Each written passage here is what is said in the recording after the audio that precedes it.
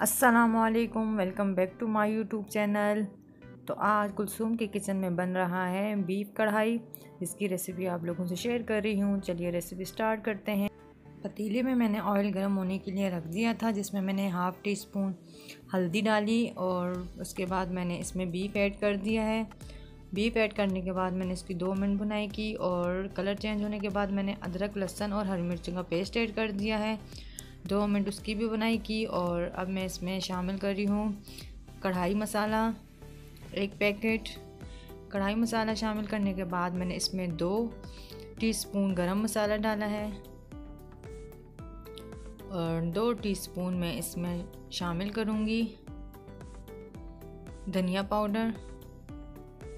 अब मैंने एक पैन लिया है जिसको मैंने चूल्हे पे रख दिया है और उसमें मैंने तीन टेबल स्पून ऑयल के डाले हैं। और इसके देखिए मैंने अच्छे से बुनाई कर दी है गोश्त की, बीफ की। ये मेरे पास हैं सात अदर टमाटर दरमियाने साइज़ के। मैंने इसको पैन में डाल दिया है, जैसे मेरा ऑयल गर्म हुआ है।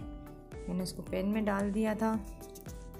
हमने इसका अच्छा सा मिक्सर बनाना है और अभी मेरे गोश्त की बुनाई हो चुकी है और ये टमाटरों का पेस्ट भी अच्छे से तैयार हो चुका है। अब मैंने इसमें पानी डाल देना है, इतना कि हमारा बीफ अच्छे से गल जाए। अब मैंने ढक्कन उतार दिया है और हमारा बीफ अच्छे से गल चुका है। और इसकी बुनाई करने के लिए मैंने इसमें टमाटरों का पेस्ट डाला है और जो मैंने आप लोगों को नहीं दिखाया और तीन हरी मिर्चें साबित डाली हैं। इसके हम सारे मसाले की अच्छी सी बुनाई करने के बाद मैंने इसमें आधी प्याली पानी का डाला है ग्रेवी के लिए। अगर आप चाहते हैं तो ग्रेवी रखें, वरना तो आपकी मर्ज़ी। इसको भुना हुआ भी रख सकते हैं। तो अब मैं इसे डिश आउट करती हूँ। ये मेरा बीफ कढ़ाई तैयार हो चुका है बन के, जो कि बहुत ही मज़े का और टेस्टी बना था।